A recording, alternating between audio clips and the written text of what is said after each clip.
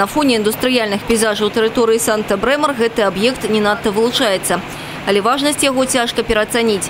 Гэта комплекс кандыцыянавання для двух цэхаў. Замест фрыёнавых кампрэсараў тут сучасная абсарбцыйная халадзільная машына. Тэхналогія прымянення прыродных хладагентаў у гэтым выпадку вады для айчынных прадпрыемстваў новы напрамак. Санта-Брэмар адзін з першых, хто яго ацаніў і ўкараніў.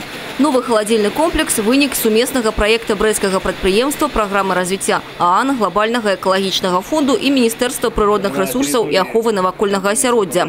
У гэты дзень усе партнёры сабраліся разам, каб перарэзаць урачыста чырвоную стужку. Введение этой установки на таком крупном предприятии, как Санта-Бремер, позволит уменьшить выбросы вредных веществ, э, улучшить качество окружающей среды, э, улучшить ситуацию в Беларуси, которая подписала и ну, в ближайшее время подписывает протокол э, об противодействии изменения климата.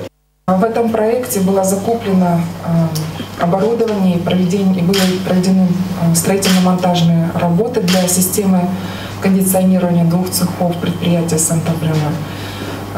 Общий проект Объем инвестиций включал в себя 400 тысяч долларов. Э, вклад э, проекта ПРООН 155 э, тысяч долларов. Надо отметить, что эти деньги были даны нашим донорам и партнерам глобальным экологическим фондом. Новае абсталяванне не толькі экалагічна карысна, дзякуючы яму выкіды ў атмасферу вуглекіслага газу тут скарацяцца на 327 тонн у год. А штогадовая эканомія электраэнергіі складзе больш за мільён кілават-гадзін. Так что это прыклад іншым укладанні ў экологию не только затраты. У нас работают в штате три эколога. То есть э, все вопросы, касающиеся и э, утилизации отходов, и э, защиты э, окружающей среды, э, все вопросы экологии, которые может общество сталкивается, нас в компании мы занимаемся этим.